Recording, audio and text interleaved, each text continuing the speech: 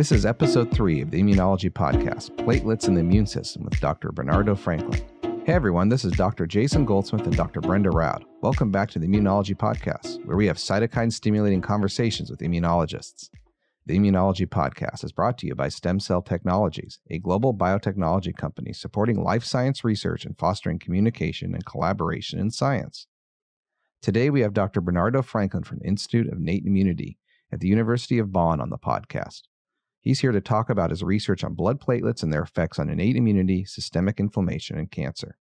We've also got our usual roundup of recent highlights in immunology news coming up. But first, Ensure reliable results with your immunology research. From primary human cells to cell isolation kits, culture media, supplements, and antibodies, Stem Cell Technologies provides the tools you need for every step of your immunology research. Interested in cell isolation? Use EasySep to isolate highly purified immune cells from virtually any sample source in as little as 8 minutes. Cells are viable, functional, and immediately ready for your downstream applications. Learn more at easysep.com. oh, hey, Brenda, how are you? Doing great. How about you? Oh, pretty good, pretty good. It's starting to warm up here a little bit, finally. It's a beautiful sunny day in Amsterdam today. Excellent. It's uh, time to dive back into the literature. Another week, another million papers have been published. Um, at least half of them been on COVID. And so, of course, we have a a COVID paper to discuss today. I actually really like this one because it combines all of my favorite things a little immunofluorescence, a little uh, protein crystallography, a little uh, protein structure function interactions. And I thought it was really interesting. Okay, bring it on. So, this paper is titled CD8 T cells, specific for immunodominant SARS CoV 2 nucleocapsid epitope, cross react with selective seasonal coronaviruses. And this is First author is Katie Lindberg. Last author, eh, this is the Stephanie Grass Lab. So that's the last author. It was published April 13th in Immunity.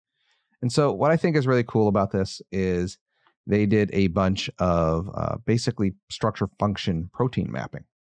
And so they found that the nucleocapsid or N protein of COVID, which is one of the peptides in COVID, um, I'm saying COVID 19 when I really mean SARS CoV 2, but it's just a lot easier to say here. Um, that induces an immunodominant response, specifically in people with HLA-B7. And so they had found this pattern. Um, HLB, people with HLA-B7 seem to be more immunoreactive to coronavirus generally, or to COVID in particular. And they found that this epitope within that N protein was highly conserved across circulating coronavirus, and that this part drove the immune response. So they found a very specific region of the COVID peptide that was responsible for generating the antigenic response in HLA-B27B7 positive individuals, and that they also found the same epitope with very small structural changes, a single nucleotide change, also had cross reactivity to OC43 and HQ1 beta coronaviruses, and vice versa. So they saw that people exposed to those coronaviruses had some reactivity in peptides, so immune cells from them, and unexposed people, they saw reactivity to the N peptide and then people who had been exposed to COVID and developed immunity or immune reactions to it also were responsive to these peptides from those coronaviruses. But interestingly, it was not the case even with a single um, a single um, amino acid mutation for uh, two other coronaviruses, which are alpha coronaviruses, specifically 229E and NL63. Because they then did the structure function work and showed that was due to differences in the peptide conformation that's going on here. And so if I dive in deep here and pull this up, because I will admit I did not memorize the exact peptide, um, but it has to do with the, there's certain prolines and other kind of proteins will cause a, a conformational change. And so when those are substituted in, those peptides um, make it so that HLB7 response is lost. And so what I thought was really neat about this is there's been kind of this immune heterogeneity that's been seen in COVID. As we all know, some people get really sick, some people don't. They're seeing this heterogeneity in between B7 positive and negative patients from the N peptide. So this is separate from the spike protein. This is this other nucleocapsid protein. So they're seeing already heterogeneity there. And then they're seeing that there's cross reactivity. And so when we think about all these kids who are exposed to lots of coronaviruses and then they do really well around COVID, maybe it's because they're all bathed in coronaviruses and develop this cross reactivity. Or similarly, parents of kids who are also exposed to all their germs could also then maybe develop in some cases cross reactivity. Again, if you're that B7 subtype. And so you're starting to see that this heterogeneity that we're seeing clinically is being mapped out at a biochemical level and an immunological level. And I think that's really fascinating because no one's ever really done this type of work before in in immunology, generally speaking. I don't think we've ever mapped any respiratory viruses immune responses down to this level of granularity this fast. And so it's kind of it's kind of interesting to see this happen for the first time, and I wonder what it's going to start answering um, later for us. So yeah, so so cool. I, yeah, I thought it was really neat. I thought it was it's a relatively short paper, but also uh, they did a ton of work, so they had to crystallize the proteins. So could you imagine? And it's a supplementary figure. So Brenda, could you imagine that one of your papers had a supplemental figure that was an X-ray crystal, uh, X-ray crystallography structure? You know, just just a supplemental figure like 5A or whatever it was. I think it's S6. excuse me, in this one. Well, but nowadays there's so many papers. Like sometimes I also I find myself looking at the supplements and thinking this like this one figure could be a paper, especially I think as time goes on, papers are more and more complex. Um, kind of daunting when you have to make papers yourself, feeling like there's so much information in some of these publications that it's just mind blowing. Yeah, I, I, find it pretty intense that that's what's going on here. I wonder, Jason, if they so the N uh, protein would be the nucleocapsid, I assume, inside that is uh, that is bound to the RNA inside the virus, right? Is it is it that this N protein is more conserved between different coronaviruses? I assume maybe the spike protein has more more differences, and then would be less likely to have cross uh, reactivity between coronaviruses. Is that the case for the N protein? There's some level of conservation to it, but it's not hugely conserved. Uh, but this region is very conserved, and so they're mm. finding. You know, I think they. I'd have to pull up in there. They they shared. Um, so, for instance, SARS-CoV-1 and CoV-2 are 90.3% identical at the N protein, mm-hmm. But are only 29% identical with other N proteins. But this N terminal domain is highly conserved. Right. Um, that makes sense. So so they they found that it was different. Well, actually, they found that the ones that lost the function was when a lysine was then put adjacent to the proline, and so that caused a structural conformation that that kicked it out of the pocket and wouldn't let it bind. So they actually did map the, the map the HLA protein or the, that that specific HLA that's specific to this peptide sequence at the end, and then showed and then overlaid that peptide and then the other peptides from both ones that it would cross react with and ones that wouldn't show the conformational flip. Um, right. But yeah, so apparently, and, and that's kind of the interesting part is that the whole thing is not that homologous, but that this one region is highly conserved. And even you're talking single, you know, single um, amino acid flips between other proteins, even ones that don't cross react with it, can only be a single amino acid off. Well, but that's all you need. You just need one small peptide that can be uh, loaded into an HLA molecule, and of course, changes in that that small uh, sequence will affect the the capacity of this HLA molecule to bind to these peptides and present them pr- uh, yeah. properly. That's very interesting to see different peptides bind and have preference for different type of HLA alleles, and how that impacts the you know, the cellular response, the cellular immune response against antigens, not only COVID but also uh, cancer that's also very studied, very much studied in, in, in cancer antigens. Yeah. But let's not go to cancer. Let's just stick to COVID because I will double down your paper with another COVID paper, also very recently published, still in press, very fresh. And this paper, you're going to have, be happy to know, comes from University of Pennsylvania, from the lab of John Wherry. Has three, for four uh, shared uh, first author Rishi Goel, Socrates Apostolidis, Mark Painter, and David Matthew. And they uh, studied the humoral response against COVID, uh, against SARS CoV 2 in around the vaccination of patients with uh, the mRNA vaccines. So uh, the paper is, is, titled Distinct Antibody and Memory B Cell Responses in SARS CoV 2 naive and recovered individuals following mRNA vaccination, basically what I said before. And um, in this in this publication, this study, they took 44 individuals and they followed the, their their uh, humoral immune response before or their their their, their B cell uh, memory cells and their antibody titers right before the uh, vaccination, the first dose of their mRNA vaccination, so this Moderna or BioNTech Pfizer vaccine, two weeks after the first dose, then right before the second dose, and then one week after the second dose. And what is was very interesting is that they had two cohorts of people. One of them uh, where people that have were vaccinated were exposed at these antigens for the first time. So where people were healthy and had not contracted uh, COVID. And then there had some of the patients that had actually recovered from a previous uh, COVID infection and were getting the vaccination after the fact.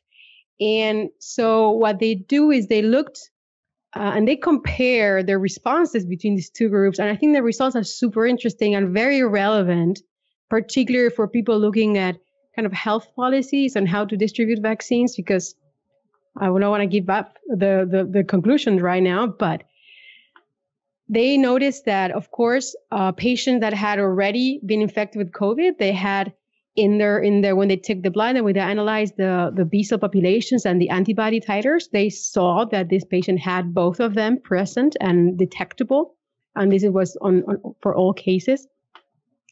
And that was not the case, of course, for naive patients.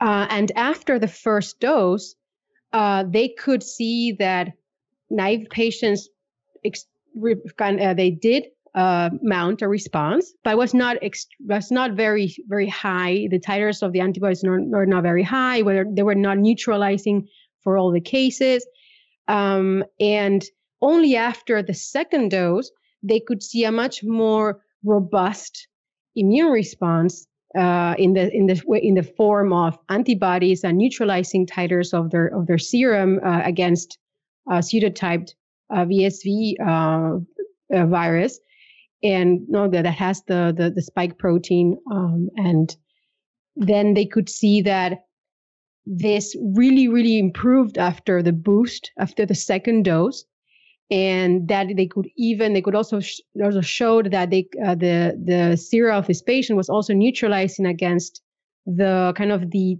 the initial uh, SARS-CoV-2 um, strain that was circulating last year, but also and very importantly, they also mo- all, almost all the patients had neutralizing antibody titers against the B1351 strain, also known as the South African strain, that has uh, a couple of, of changes that have been associated with a capacity of evading the, immune, the previous immune response. And these mutations were also observed in some of the dangerous new strains in South America, the P1 that was uh, identified in Brazil. So it's very nice to see that two two doses of the mRNA vaccine seem to really provide also protection against this new strain. But I think what was the most interesting was what happened to the patients that had had recovered from COVID uh, 19.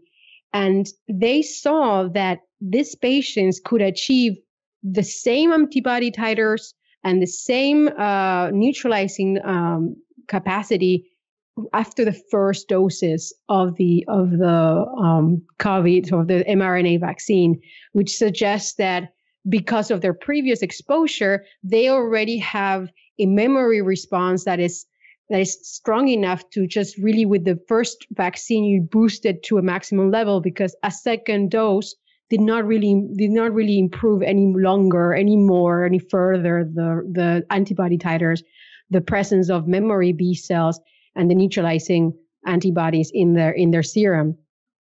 So i think this is really cool because it gives the idea that probably if you already had COVID, you're almost fully protected, at least when measuring humoral uh, immunity against uh, the the virus, which is very, I think is is a very uh, maybe not for us for the U.S. where there's so many there's so many vaccines already and so many vaccinated people, but for other countries where there is still a, a um, vaccine shortage, maybe you can be a little bit more confident in one vaccination might help people that were already uh, infected with COVID. Well, that's super interesting. Um, you kind of a couple thoughts. One, so clinically we see this. So you know, people get their first vaccine, their arm hurts, their second dose, then they kind of feel like crud for a day, And I know people who have had COVID who feel like crud after the first dose. So it kind of suggests that that's, that's replicating itself in, in the wild, as it were. And then second thought is that John Weary is awesome. Uh, they, you know, I was around at Penn when they were trying to recruit for this, but I got uh, washed out from being able to be a donor for the blood because I have a history of ulcerative colitis. So I have a chronic condition that wouldn't let me donate. But otherwise, you know, I would have been signing up for this. And their lab does a lot of really awesome work. Uh, kind of a, a dream. Hopefully, we can get them on here sometime. Yeah, for sure. I mean, I've been following a little bit their research and they they threw themselves into COVID research like really early on and they had already very early on really nice data uh, characterizing the immune response in, in COVID patients. So it's only natural that now they're looking at, at the vaccination and how that uh, can educate the, the immune immune compartment.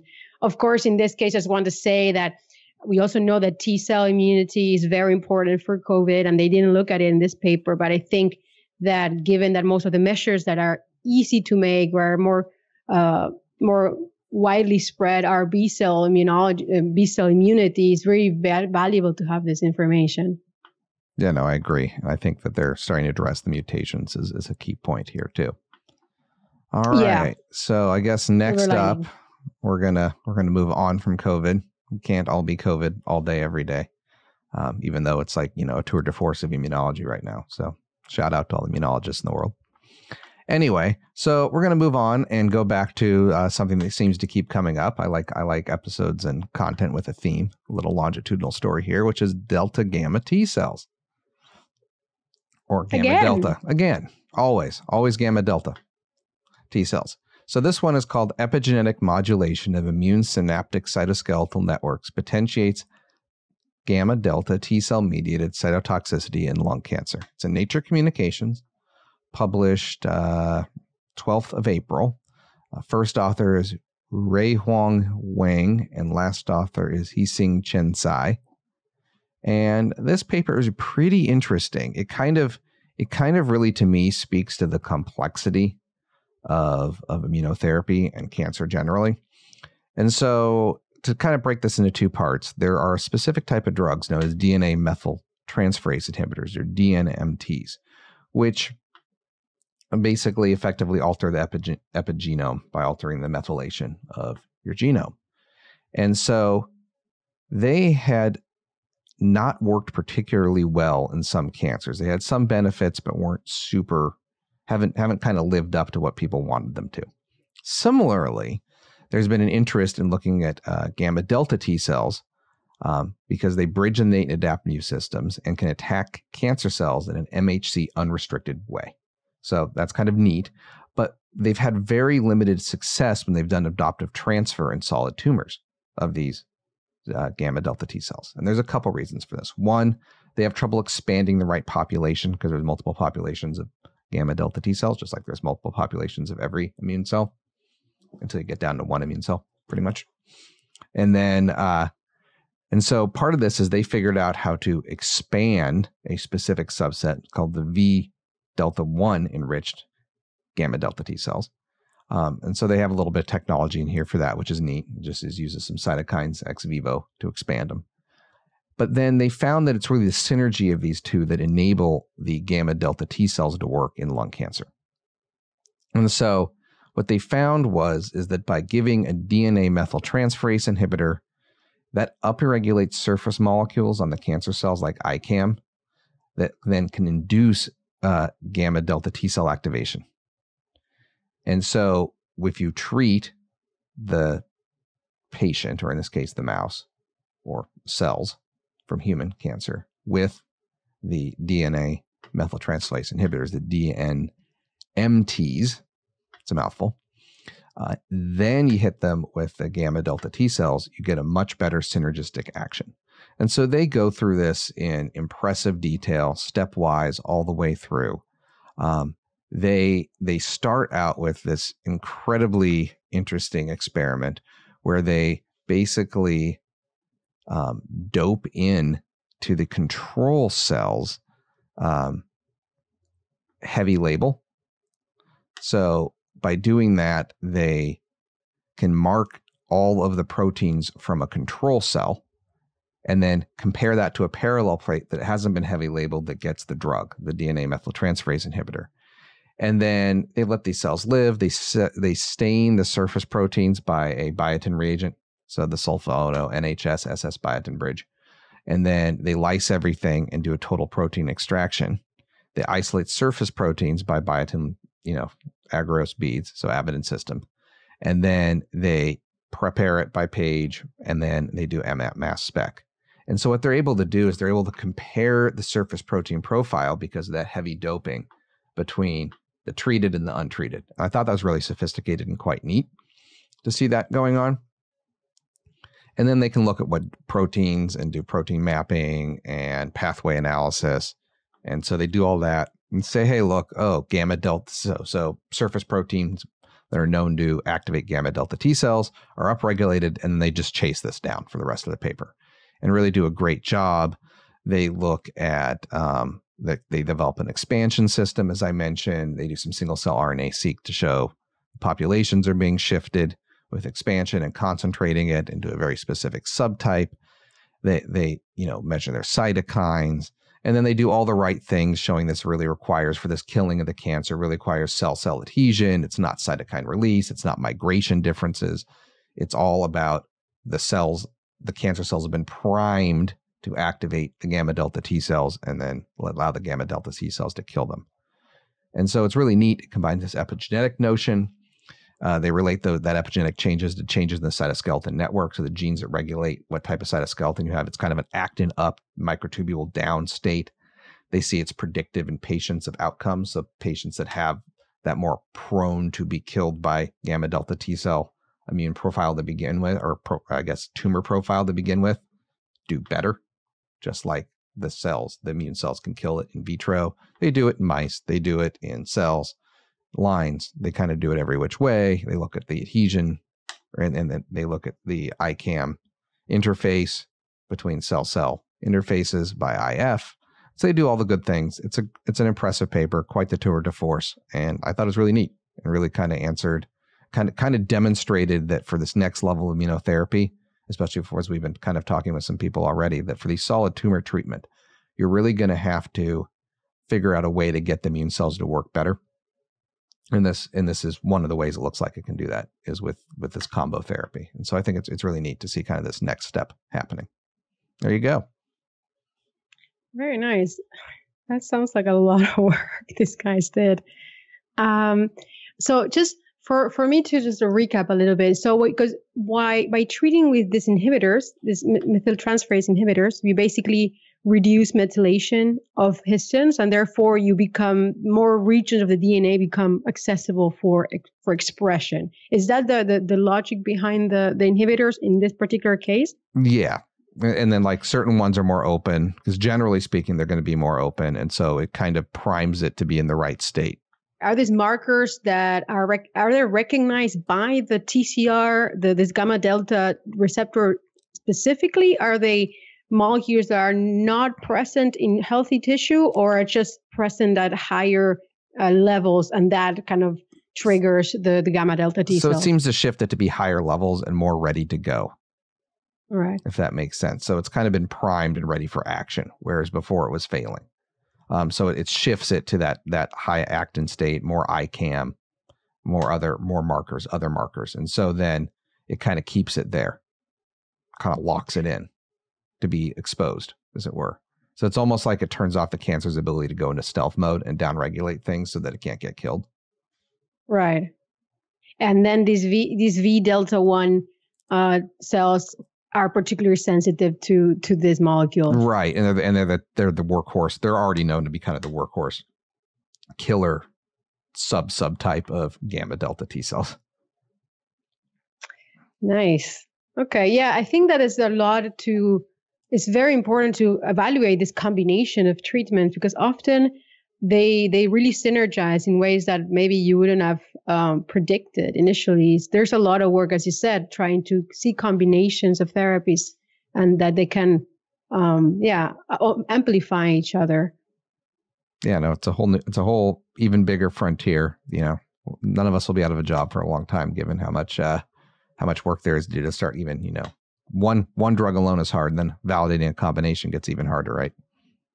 That's what I think. The logistics are a nightmare. All yeah. right. So then, for our last but not least uh, paper for the day, I want to talk about also kind of a therapeutic potential of a new therapy. And this is a paper that also comes from uh, Chinese researchers. So this uh, paper was published that I'm going to talk about was published in Nature Neuroscience, and it was authored by Qi Peng Xu and Hao Chang. Um, from the uh, last authors are Minshun Qi and Sikai Chao from Nanjing and Shanghai in China.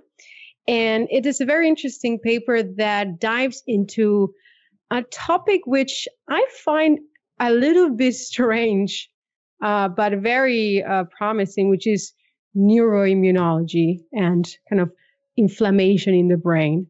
I think that we are, especially lately, there's a lot of, research done and, and there's correlations between inflammation in the brain and actually like behavioral and psychiatric disorders. And I think that is really fascinating.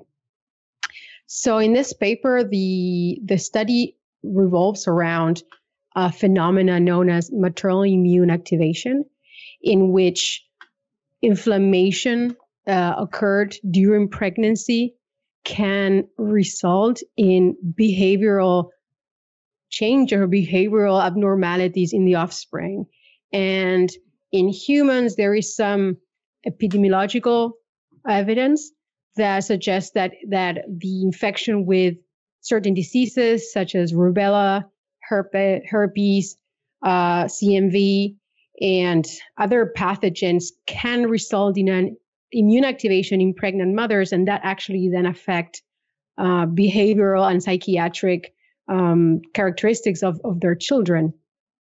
And this has been also very much characterized in the case of, of mice and of uh, animal uh, models in which uh, inflammation induced by, for example, poly-IC or uh, LPS injections in pregnant uh, mice results in in offspring that have again uh, kind of symptoms that can be related to autism and social impaired uh, behaviors. Um, so, and this this uh, has been related to an imbalance of inflammatory cytokines in the brain of the of the offspring of this uh, of these pups, and the overactivation of the microglia, which are these kind of resident macrophages that live in the brain and are part of the immune system in the brain. So there's basically two things this this authors um, show in their publication. On the one hand, they establish a different way of inducing this uh, maternal immune activation in mice using uh, antigens from Toxoplasma gondii, which is very they're very highly immunogenic of the of the kind of the parasite stage of uh, of the Toxoplasma, and they um, they basically inject pregnant mice with with this antigen, and they really uh, result in a highly inflammatory response and that uh, shows uh, both in the mother as in the pregnant mother and then the offspring when you measure the pups uh, several so after two weeks or eight to 12 weeks after birth you can see that so here they do a lot of um, kind of un- unknown to me before behavioral uh, assays in which they evaluate the mice and their capacity to respond to so they to respond to their peers and how their social skills with as mice, and they they, for example, evaluate uh, when a pup how a pup responds to its mother, how a pup uh, then or, or an adult mouse how much anxiety it exhibits by, for example, exposing itself in open spaces. Mice that are more anxious will stick to kind of more protected areas. They will not go to open arenas or open uh, areas in the in the in their kind of experimental uh, cages, and they will be less curious about other mice and they will spend more time in kind of isolated behaviors.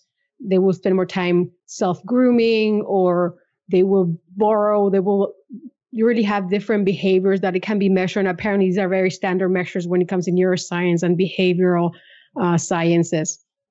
But this these mice don't have a, co- a cognition, an alteration of their cognitive skills, but just mostly a social, a social and um, behavioral uh, difference uh, after. So the mice that were come from mothers that had been treated with this inflammation that had been uh, injected with these STAs with this this um, antigens from, from toxoplasma, and so that was a little bit kind of strange for me. But when they also look at the immunology uh, of these mice and the the immune compartments in the offspring that was exposed to this inflammation in uh, in the womb, they also looked that these mice have a more inflammatory phenotype both in their in the, the cells in their spleen they have a higher production of interferon gamma, of uh, IL 17, and they have a lower kind of proportion of um, Th2 type of cells. And more importantly for me, they have an increased uh, expression of IL 6 in their brains, which uh, shows a more inflammatory environment in their brains. Very interestingly, they show that this IL 6 doesn't seem to be produced by the microglia, uh, microglia, which usually is uh, as, as they are kind of this macrophage uh, population, they seem to actually be produced by the astrocytes, which are non-immune cells that are part of the physical structure of the brain. Are also these uh, support cells in in the, in the brain structure, and they seem to be producing IL six at increased levels in the mice in these treated mice, and so, and this brings me to the second part of the paper, which I think was also very interesting, is that they test whether by transferring Tregs, regulatory T cells, to adult mice, they kind of revert this inflammation and they want to see what happens to the behavioral effects that they see in the mice. And long story short, they take mice uh, after eight weeks uh, that have so the, that have this this behavioral abnormalities. And by transferring regulatory T cells from, from mothers, uh, from pregnant mice into uh, offspring mice, they show that they can reduce both the inflammatory uh, environment in the brain and they can reduce uh, the behavioral changes that they see in these mice kind of they can treat this uh, MIA by transferring regulatory T cells. And they also study a little very close to the regulatory T cells. They show that they're very activated cells. So they come after mostly from the best ones they find are the ones that are obtained from mothers that were injected with this antigen that have this inflammatory response going on. And if they if they extract the regulatory T cells from this from this mice, they seem to be primed to uh, respond to this inflammation, and they seem they seem to be able to pass the blood-brain barrier and really go to the site of inflammation. They are they're being directed there by cytokine receptors. They express CCR4, and there's a lot of CCL22 in the brain, which is directing these cells uh, over there.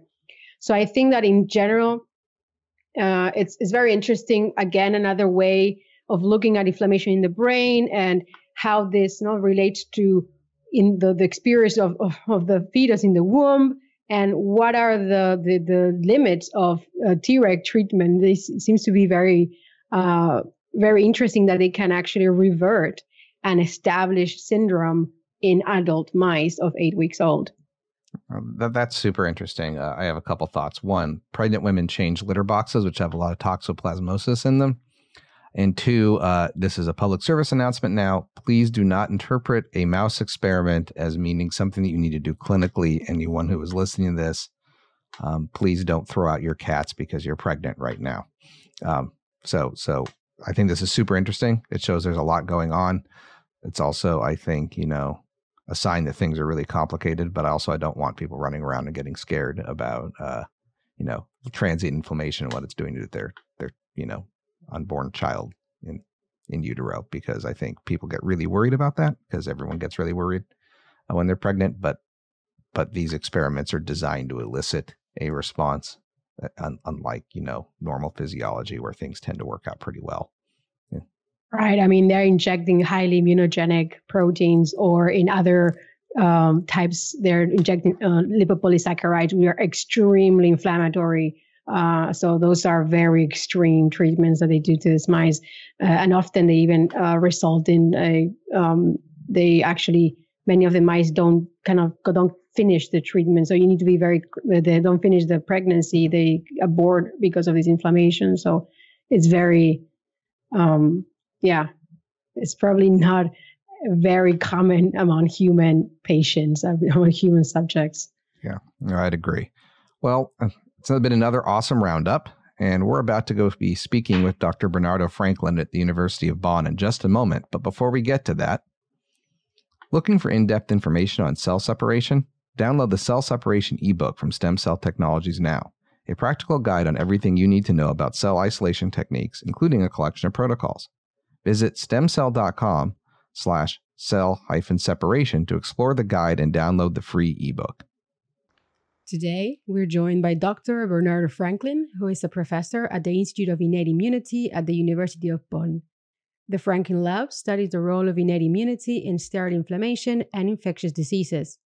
Their research has contributed to identifying main triggers of inflammation in malaria, as well as novel extracellular functions of inflammasomes. And more recently, they have been focusing on blood platelets and their effects on innate immunity, systemic inflammation, and cancer. Professor Franklin, welcome. It's great to have you here. Pleasure to be here.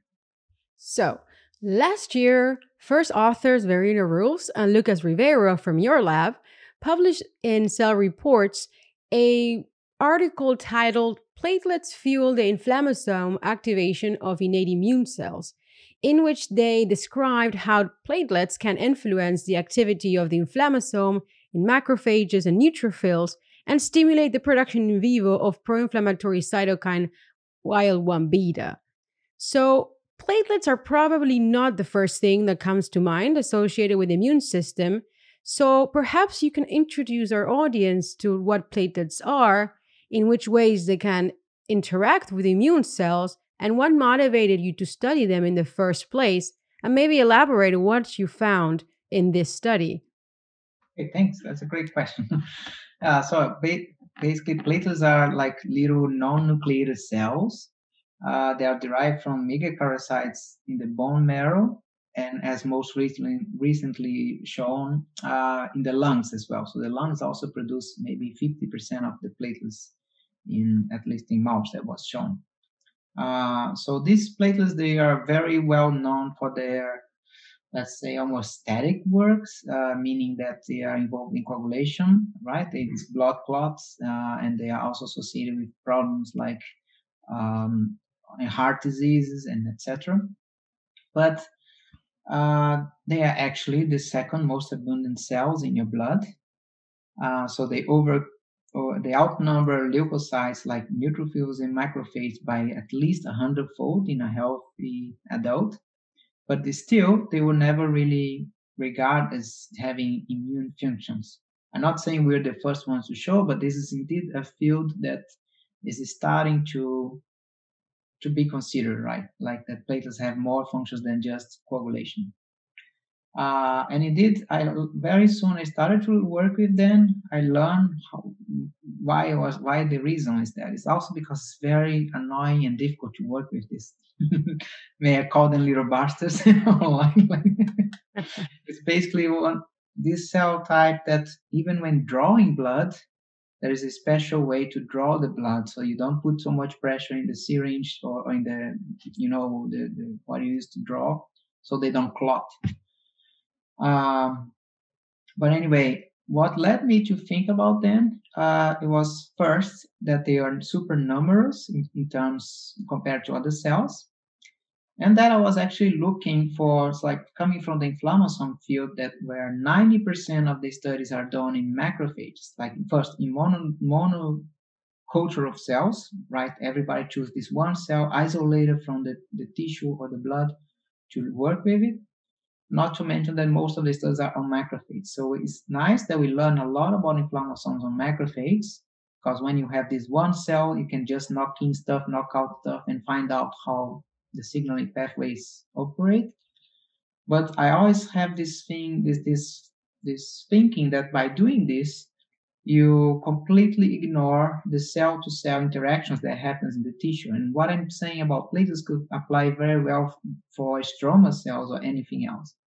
And I, this always annoyed me that uh, if, if you would just to make a parallel, if you would always study the T cell in isolation, you would never discover, for example, antigen presentation that that includes the dendritic cells and, and, and T cells, right?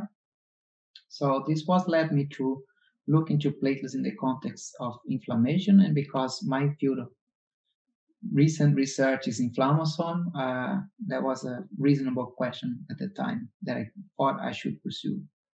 Yeah, that's a really good point that you make, which makes me think of the implications for in vitro studies that are looking into the activation of inflammasome in these types of cells, which presumably are done with cultures that don't have platelets or have been removed uh, and how does that compare to the situation in vivo where you have plenty of platelets in the bloodstream? And thus do you think this absence affects the relevance of these results? And do you think people should start adding platelets to their cultures to keep up? Yes uh, that's entirely correct. And I, I have to confess a great part of it we found by accident and that is because working with neutrophils, for example, every everyone that works with neutrophils uh, knows that uh, there is not really a surrogate cell line that you could use to replace your neutrophils. So you always need them fresh from the bone marrow or from the blood. And what we found is that by using not only stem cell isolation magnetic kits, but also the Miltenyi ones, that uh, the neutrophils and as well as the monocytes. So there is two different kits, right? Uh, one one of them is even funny because it's called it was called uh, neutrophil isolation kit, and there there was a catalog number for it. But if you now search for the same kit, they changed the name to enrichment kit because uh, they cannot guarantee purity, at least if they consider the platelets. So the neutrophils were coming after the isolation with the platelets.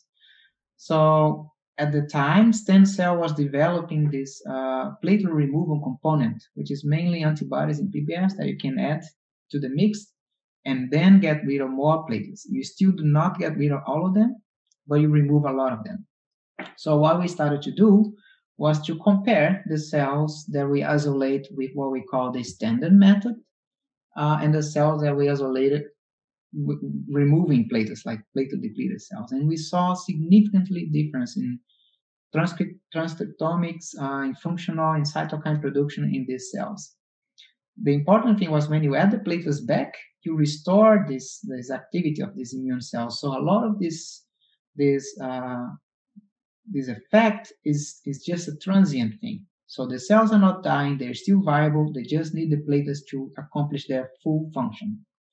And people actually do this kind of experiment, not the depletion one at least, but adding platelets to to cultures of cells.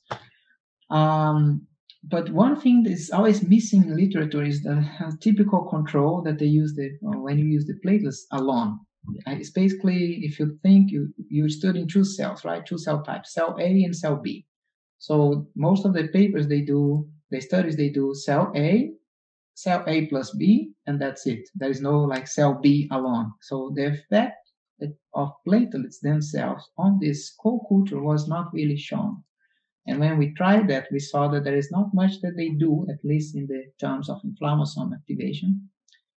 Everything, all the effect that we saw is mediated by platelets into other cells, but the platelets themselves don't do much in terms of IL-1 production. And this was a very long year of frustration for my PhD student because we based on studies that would say yes they do have inflammasomes and yes they do produce IL-1 and we could not reproduce any of this data to the point that uh, I, I offer one of the big guys in the field to send my student to the, his lab. I, I, I emailed him and said, look, I cannot reproduce your data. we have a problem. Would you mind if I send my student there? She learns because there's something we might be doing wrong. And he told us, oh, actually, we don't do this anymore. Like we haven't done for some several years. Uh, but always we detect these these proteins in platelets in the at the mRNA level by qPCR, which we also did. We, you do detect it, but after the cycle 40, which is when you also detect anything else. so, gotcha. Uh, when we basically my student was about to give up, and she's after like six experiments in a row, taking blood from donors with all kind of disease to to, to investigate what the platelets were producing, and they would not produce these cytokines she told me one day, oh, look, if you ask me to go in the lab and look for IL-1 in platelets, I seriously give up. That's it, you know? And then I told, okay, let's forget what we read and let's pretend we are the first ones to show. So we went back to mRNA levels to, we even look into the megakaryocytes and they don't have inflammasomes. So there is no way the platelets will have. But only this thing alone took us one year of this project. And all negative data is not something like, ah, you know, you publish with all your heart. No one wants, no one scared, no one cares about it. We publish anyway, of course, I think it deserved. But a lot of this project started with accidents, with things not working, with things not going the way we expected until we actually found, well, at least let us do something to other cells. So let's study that. It sounds like you at least have a happy accident, though, that like all the kits people were using for neutrophils or whatever other immune isolation had enough platelet contamination that the fact that we think a monocyte or a neutrophil does this, even if platelets were required, there were probably enough there to get that signal to be accurate. So would you say that's that's pretty true up to this point that we haven't been like the current body of literature has had accidental platelets on board in a lot of cases, which probably is good from a understanding what the cells do perspective, even if it's really a biculture system versus a monoculture. Absolutely. And as I said, this this is the same for not just platelets, right? For stroma cells, the core message that we are learning, maybe by the hard way, is that we take cells from their environment, from the tissue, from the blood, you can do a lot with them, but you should not speculate that they will do the same in vivo, where they are surrounded by other cells, where they are soluble factors floating around that makes you know the, the levels of regulations. And regarding your question about the neutrophils and or monocytes, is definitely true. That uh, and luckily a lot of the literature is shifting towards this this observation. Like there are studies from the Paul Kubes' lab in Canada already showing, and also Andreas Hidalgo showing the dependence of these cells to basic functions like neutrophils alone.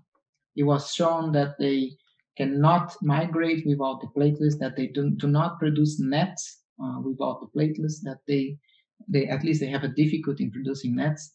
Um, and also even the neutrophil survival like everyone that works with neutrophils knows that you have like a four to six hours time to work with these cells and then they start dying right? Mm-hmm. if you add platelets to these neutrophils you you can expand their lifetime for 24 to 48 hours and that was already published not even my data. Um, i can send you all the, the references after this show if you would like to, to have it um, so yes, we learned actually from everything that was not working, and luckily uh, we could actually have a solution for the for monocyte because we use this platelet depletion uh, component that is cell apart from the kits. And from there, we are we are actually is the next uh, story that is coming up is on monocytes. It's really like it's, it's not just about inflammasomes anymore. They just don't behave when you take the platelets out and one of the experiments we actually did is that when you compare fresh blood that you take from a donor to a, a, a, blood that is sitting in a like in a from we get from the blood bank, right? In these little bags. So for the blood bank, they take a lot of the platelets out to start, and the places that are there, they're not they don't really survive too long. So when you just compare the basal activity of these monocytes uh, the ones from the Buffy coat and the ones fresh, it's already different. You know, the fresh ones are much more potent and potent in a lot of immune response compared to the other ones. And the funny thing is that you can recover the the Buffy coat and the monocytes and neutrophils from the Buffy coat by just adding platelets back to them. So it's really a transient thing that uh, you can play around with. So this piques my interest clinically uh, from the clinical side of my brain because platelets are known as an acute phase reactant.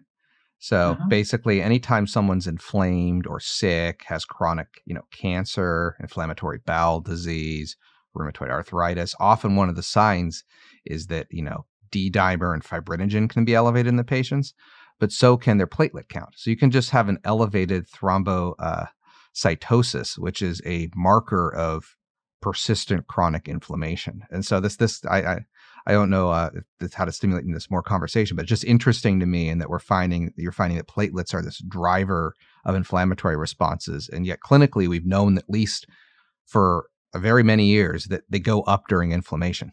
And so yes. it's it's interesting to see that they actually that's not just like a marker in the blood, but actually probably functional um, and driving some of the inflammation. So I don't know if you guys have started to look at how inflammation, if there's a feedback loop where obviously you, you've shown that platelets seem to help promote inflammation, but somehow inflammation is promoting platelet production.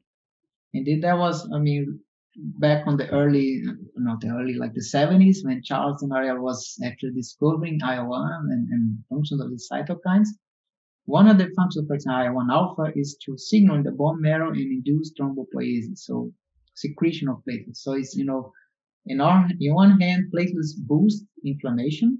In the other hand, inflammation boosts platelet production. So it's really like a, uh, but I have to mention the counter side of that. So, for example, in, in sepsis, platelets have a beneficial role because they sequester uh, TNF alpha and IL-6 and remove it from the circulation. So in sepsis where IL-1 plays less of a bigger role compared to these other cytokines, play, uh, adding platelets is actually beneficial. So it's not always that you should, you know, take your aspirin and bring your platelets count down, counts right. down. But well, then you get what's called DIC, disseminated intravascular coagulation, um, which yeah. depletes your platelets, and that's one of the worst things that can happen in sepsis. Is that your mm-hmm. platelets deplete? Uh, you have bruising everywhere in your body, and then uh, the, the the joke acronym for DIC is death is coming, uh, because yes. that's a, that's an early sign that the patient with sepsis has progressed to the point that they're going to be hard to survive. Is actually platelet depletion and thrombocytopenia. Yeah, I mean depletion in this case is because you have thrombosis, and then of course if you measure the circulating platelets in the blood, they will be lower, but it's just because they are stuck somewhere else. It's not yeah. that you actually have a yeah, they've all they've all third space. It could yeah. be as well, but uh, in principle, it's more clotting. Yeah, which you would suggest you actually have way more platelets than normal, and that's these accelerate clottings as well, which is disseminated DIC, right? Disseminated intravascular coagulation. Yep, and then you get the platelet clotting, but then there's not enough in the blood to soak up the cytokines, and then so you have more third spacing of fluids, and then they can't maintain their blood pressure, and so it just starts that vicious cycle.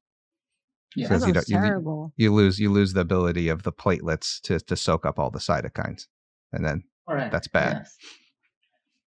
Another interesting result from your publication is the correlation that you found between platelet count and the concentration of IL 1 beta in the blood of patients with malaria, which seems to suggest that platelets have a role to play in the pathology of this disease.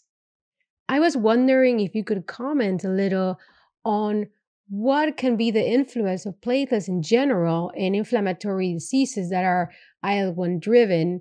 Uh, and you have mentioned rheumatoid arthritis and uh, Kawasaki disease.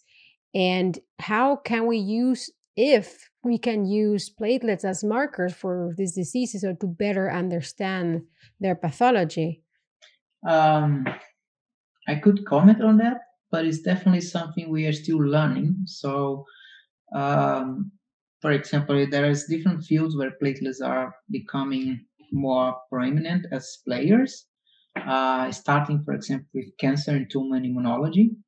Uh, as uh, Jason has mentioned, high platelet counts are usually associated with poor prognosis in several inflammatory diseases, and of course, cancer is one of them. But also there was always this misconception that platelets uh, they are in the blood they don't reach the tissue site of infection and that's also not doesn't seem to be true because Uh, not only in cancers, uh, the platelets were being shown to access the core of a tumors, which is usually ref- refractory to immune cells, and acquire antigens from this tumor. And this is actually gave rise to the term educated platelets, like tumor educated platelets. And in a study by Best et al., published in Cell in 2019, I think, or 18, they show that these platelets that are now in the blood but have been into the tumor can relay information about the tumor with 95% accuracy and tell you know what kind of tumor it is and so on. So you can find that study, I think, was a fascinating one. And that kind of kick off this field of educated platelets that other papers follow up. And uh, in a different story, for example, um, by Young, Wong et al., they show that, for example, if you use platelets now to deliver PD-L1 immunotherapy, uh, the platelets, because they specifically interact with cells in areas where there is a wound. So in this case, they basically remove the tumor surgically so that creates a wound where a clot uh, usually occurs. So platelets drive to that place and they can efficiently deliver the PD-L1 antibodies in that site and not deliver anywhere else, or at least with less um, uncontrolled dissemination of the, their thera- therapeutics. So that was two. There were these were two really cool studies that really brought the platelets as a almost like a a second arm that we could explore in tumor immunology, for example. Um, regarding their roles in, in, inflammation, as I said, is we still naive. Like we know they do stuff, uh, they, at least they assist other cells. We don't know yet, as Jason was saying, what comes first. You know, are platelets a consequence of an inflammation, or they are actually players in inflammation? I would say because of the studies we do in steady state, like in healthy donors with no overt disease, just taking platelets out already suppress a lot of the activity of immune cells. Uh, I think they are just uh, like cofactors of immunity, at least. So, speaking of this cofactor role, I notice you spent a bunch of time in the paper trying to figure out the culprit and I have to say, you did an impressive job. And I'm sad you didn't find it. Um, and so I don't know if you have like another paper coming out that you don't want to talk about too much, but if you wanted to talk about that a little bit, you know, you showed sometimes it was cell cell, often it yeah. wasn't, and then you know you showed it was heat activated, so it's probably a protein, and you tested every single thing you probably could get your hands on easily, and it didn't all work. So it's probably calcium dependent through GPCRs. So I don't know. Like I was wondering if you did any of the GPCR downstream stuff like pertussis toxin or any of the decoupling of the GPCRs to drive it, or if you have more, you know, teasers you want to give us on uh, what the heck the platelet factor, unknown yeah. platelet factor, or the Bernardo Franklin factor is yet in platelets that uh, is doing this because it seems like you you you tried to get there and couldn't, and I'm sure it drove you nuts. Yes, no, indeed, you raised one key point because everybody I speak to about this this odyssey that we went through, including the editor, uh, told us, you know, this paper would be from the amount of effort we put into it, it would be published higher. But it's just that uh, not that Cell Reports is any better, of course, but like you know, we have a we actually the final version which was published has way less supplemental figures than we have. Uh, for we have a whole RNA set that we did on macrophage that received platelets and platelets alone and everything that we did not include in the end because also was just opening more another layer which was metabolism. You know, platelets the metabolism of the cells, and this is deep, definitely not my area. And I mean, I, it was driving us to. I mean, okay, we have something that is calcium dependent, that is uh, heat sensitive is, you know, is not a lipid apparently, but it could be other lipids we didn't really exclude. But in the end, we actually found stuff that kills the platelet effect, but it means it also kills the whole inflammasome effect without the platelets because we have it to inhibit so many targets in one cell that in the end it was just a toxic effect. Hmm. Um, and up to this day, I still, I have to confess, I still don't know. Uh, I, I think it's a synergistic thing. It's not just one thing. And in the story, as it, the, what led us to this data was, of course, a bias, an unbiased approach, starting with the proteomics, which indicated everything we went through. Uh, and then closest we saw that okay, it, it, has a little bit of TLR4 involvement, it has a little bit of, of, of S100 or uh, and then we, we look for the common receptors, but the common receptors are shared. And when we, we inhibit all these receptors, the platelet effect was gone, but everything else was gone as well. and it's too bad I cannot show you, but in the end of my talks, when I talk about this paper, I have this because I, you know, instead of filling slides with negative data, instead of ah, it's not this, it's not that, it's not that other, I have one little table with all the factors and approaches we took and wherever there was a mouse model available, we used, and, and there's a cross. Okay, mouse cross. Uh, when there is no mouse, we use antibody because sometimes it was just a human protein. There is no model for that. Or when there is no antibody available, no mouse available, we use an inhibitor. And when none of those are available, we use an agonist to see, okay, if the agonist alone reproduce the platelet effect. And this table, which occupies the whole slide, is full of axes. and in the end it was just like a, a, a tour de force and we still did not find it how they do that yeah so and there's even more sorry uh, we found in that paper that for macrophages is contact cell contact independent right we did transwell with these inhibitors of phagocytosis but if you look at the monocytes and neutrophils that are in the blood then the interaction with the platelets is contact dependent and that kind of, I mean, I don't want to speculate too much on that, but that makes sense that the macrophages are in the tissue, and because platelets don't get there so easily, they found a way to communicate. They release vesicles, they release factors. Whereas the monocytes and neutrophils, they are surrounded by numerous numbers of platelets, each one of them. Then there is a second layer of regulation, which is the contact thing. Uh, so, you know, they are together, but there is secreting stuff mm, doesn't really help them there. Yeah.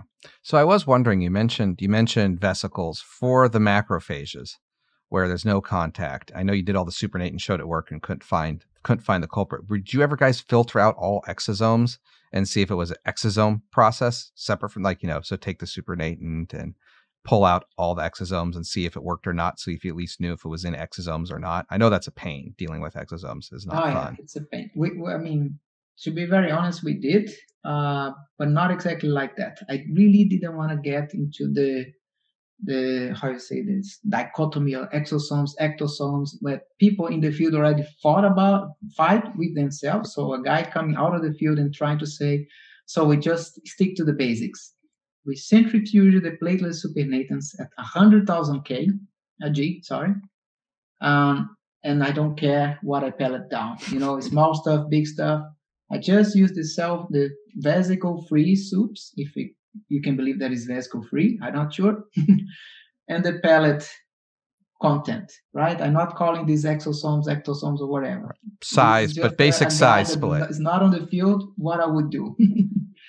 so we did that, and we saw that the effect is still in the soluble fraction, meaning it's not on vesicle, vesicle, vesicle part. I don't know, pellet but with 100,000 G, I'm not sure if you actually pellet vesicles or if, in principle you do, but they could also break up because of the, the force, right? The centrifugation force. So this is the basic experiment we did. Uh, and for me to go beyond that, I would definitely pair with a, a, specialist on the field and just outsource. Okay, here's the platelet soups as much as you want. If you can narrow that for me without getting into trouble, you go for it. Fair enough. It was a really great effort that you did, which derived in a great publication, and we congratulate you for it and wish you good luck in your upcoming publication. Just keep us posted. We are looking forward to see where this takes you. And in the meanwhile, I wanted to ask you uh, a question related more to your career um, you are originally a researcher from Brazil, where you did your PhD at a rather uh, prestigious foundation, the Oswaldo Cruz Foundation in Rio de Janeiro.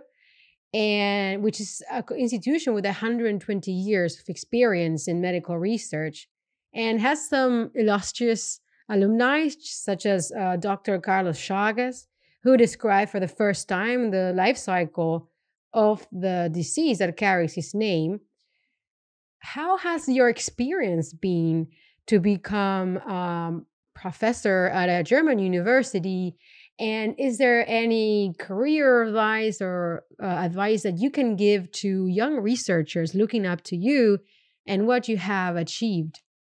Oh, career advice, that's tough. I hate those. because they always blame you for that, you know? I don't know. Not, I, I, I honestly have to say, not everything that worked for me can work for everybody, right? There's no recipe. I also had in mind that my background and my trajectory might not reflect, especially talking to other Brazilians, right? I mean, I was privileged to be able to study and not have to work when I was young, you know, like, uh, or uh, that I have a structured family and didn't come from, you know, uh, a home that, uh, sorry to say, like the, the father beats the mother anything, any drug abuse, anything. So I, I actually, I could dedicate to study. I could, um, you know, my time was just for that. Uh, didn't have to do anything instead. I could. Uh, so that already separates me from a lot of people that could have the same chance, right? But I mean, not to mention that, of course, um, I think what I always try to do is remain curious uh, and really try to narrow down things. Uh, and that this last paper was an example of that. Like I have my student wanted to give up. He said, "Look, that is." We cannot reproduce this stuff. Let's just change the hypothesis, change the project. Well, I'm happy to do that, but at least with data, right? until you, the data suggests my hypothesis is not wrong or not right, we go until the end. Um, so I don't know. I, I work in different fields. Like I transition from infectious disease, which is what you do in Brazil mostly uh, at the time, at least of my studies. Now you can do a lot more, but it's because of the, the the theaters of the country, right? We have a lot of infectious disease, so that's where you get more funding to study. So I study. I actually start on Chagas disease, malaria, schistosomosis, like schistosomiasis, actually. And then when I moved to Germany, I started to deal with disease of the Western societies, right? Like this non-communicable disease, like Alzheimer's, uh, type 2 diabetes, chronic inflammation, so on. But the one thing that remained in all of this is that, you know, is the fundamental question to me, what's driving this? You know, like even infectious disease, sometimes it's not the bug that's driving the disease. Like malaria has been there you know, if you go to Africa, you find people with malaria right now, and they're still working, doing whatever. If you take one drop of their blood and and, and using to a naive donor like you and me, we we are dead in like a couple of weeks. and this guy is just there. So it's, it's I believe it's not the the aim of the parasite to to kill the host. And learning about this, learning what is happening, it's what drove me. And if I mean, if you can take this as, as an advice, I don't think it's a it's a much more a cliche. Remain curious and and, and provocative, and don't take bullshit. sounds great. Sounds like sounds like good advice. Yeah, I think I think to piggyback on that, there's a lot of people who probably come from a uh, Western Hemisphere background, are used to kind of the the American system. I don't know if you could speak more to how how the academic system is a little bit different you know coming from south america and then going over into europe like how does how does that pathway compare to the standard canonical in the us and at least in canada to an extent? It's grad school postdoc postdoc postdoc until you're done try to get a faculty position. And it's it's it's my understanding it's, it's somewhat of a different market but i think you could speak better to what you've you've encountered having been all over compared to a lot of people who only stay kind of within one institution um, or with one in one country or two, and how how how it's different in different parts of the world, even between South America and Europe. Okay, at least uh, based on my experience in US, I spent some time there, and in Germany. Uh, one of the major things I felt in Germany is that, uh, in Europe at least, but Germany as well, because uh, is the opportunity of funding that is uh, okay, stratified by by uh, uh, how you call that? Sorry, that that that you can apply within your own uh, stage. Meaning, if you just finish a PhD and if, or just finish your first postdoc, so there are different schemes like the Emmy Noether from the DFG or even the ERC, which is seven years after your PhD. That means you compete with people that have seven years, just like you, right? So it narrows a lot the your competitors instead of competing with super big guys as like the R R R1 brands from the from US used to be. I don't know if they're still like that, but if I if I just finish my postdoc and I write my first R1, I'm competing with 50 whatever years old uh, scientists with really, really well established careers and you know there's just you're out there's no way so the amount of programs in europe and in germany for young scientists was really uh, a striking difference already there is so much if you look there is even a, a, a, a research in germany website which always announce what is what you could apply from small grants of 50,000 to um, like mid grants of 30 to 300,000 so on. So I managed during my postdoc to get small grants like this that would give me this one the first technician, the first person I hired that already is like, you know, helps you a lot or at least a little funding to, to, to pay your own salary and so on. Right. So this is this one advantage but the system remains the same, right? And I would say I'm very conscious there is no way I would ever get into a professorship in a German university through the natural route. It would take me forever if, if I would get there. If it wasn't for getting a competitive grant like ERC that you have the power of negotiating. You, you, you know, now you say, look, if I decide to go, the money comes with me. And this really, that's when I saw everything changing for me in several levels, you know. Um, so it is still the system in most places, right? Uh, it's papers and money, right? if you have them, and, and most times one brings the other. Yeah, and it sounds like at least like American systems have some ways for younger people to get grants, but it sounds like there's better or more pathways potentially in Europe. I know nowadays you can get a bump in your score for your first R01 until you get your first one, but it's still it's a bump in the same pool. There are some early stage career grants, but it's not the same power of negotiation. You, you kind of get in this catch 22 of I need a I need a grant to get a job, but I need the job position to be eligible for the grant which seems yes. to be a, a, catch the American system still is trying to sort out. So it's interesting to hear that at least in the European universe, there's some there's some uh, funding tiers that may be addressing that. You still have to have the money, but you can actually apply at every position for more of it. Yes, and also there are different rates of success for you know like there is of course our ERC or like R1 that is I don't know 10% success rate but you also find calls and grants here with 40%, 30% success rate. But there's just too much. Also, partnerships with industry and academia that can also fund your research.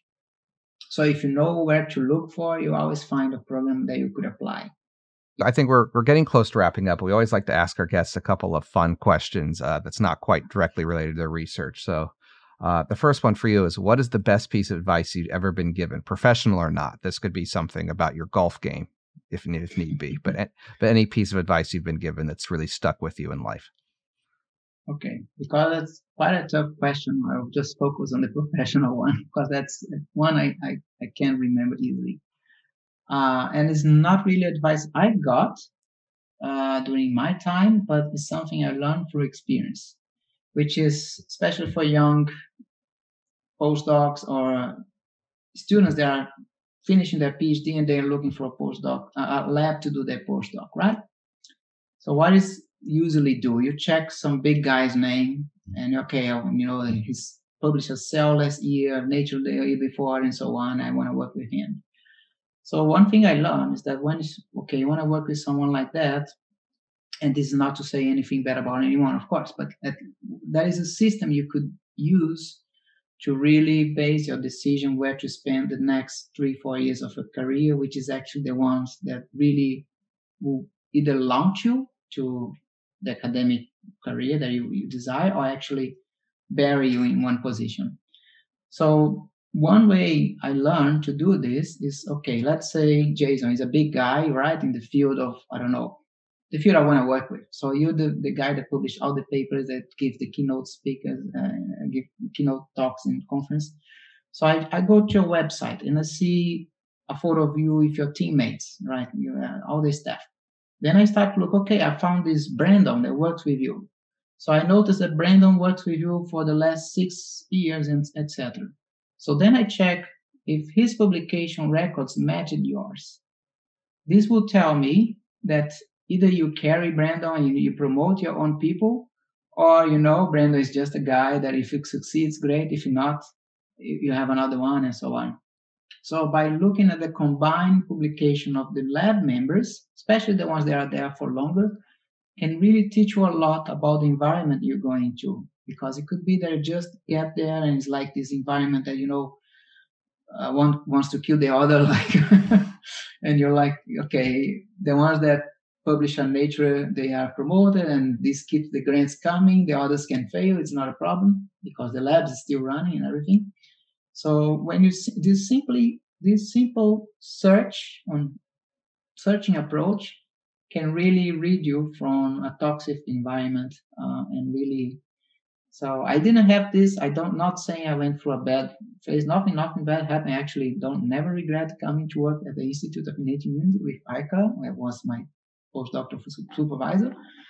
But it's it's either uh, it's something I saw many other students that pass through the institute end up in a place that they later send us email, oh, I'm about to give up, and somebody actually gave up, and like it's not uh, because they just did like that. They went for the big name, the big lab, full of money, full of people, without really knowing what to expect. Guess the risk is you fall through the cracks uh, if you're not careful enough. Yeah, I mean, it's, it's, it's an important decision, right? It's where not only where you're going to spend the next years of your life. Sometimes it's actually when people are starting a family, so the work balance uh, is also compromised. Uh, sometimes you are in a different country and now you get there you have absolutely no support and your, your work environment is just i don't know not healthy and then well, you're stuck. You need the job. You're there already, and it's, yeah, it's there. There are ways to at least have an idea if this would be a good or bad move. All right, and then we have one more for you, which is what is the biggest misconception about science that you would like to resolve, especially this day and age where you know science is all in the news all the time with lots of misconceptions because of a nasty Absolutely. little virus running around. Yeah, so it's not necessarily a misconception, but the way we phrase it, it, it makes a misconception. Is the saying that science corrects itself. It is true, but the correction is way more painful than the first one that published the. so to give you this example in this paper from Cell Reports, that we have to say, okay, there is, as you see, there is a whole bunk of the paper, a whole bunch of it that is just showing no, other people were wrong. We could not detect inflammasomes or IL-1 platelets, and this took us almost killed the story because it was even annoying to write that part. You know, it's not what I want to tell. It's not the story I want to tell. But the reviews ask so much of us because they were used to the field saying there is this, they do that. And and if you check the publications, they say that you would if you were a reviewer, then you would you would not you know you would not accept it. It's just because they were the first and there was this appealing. But the first evidence that platelets have inflammation was all done by FACS with no controls whatsoever, like isotype controls or anything.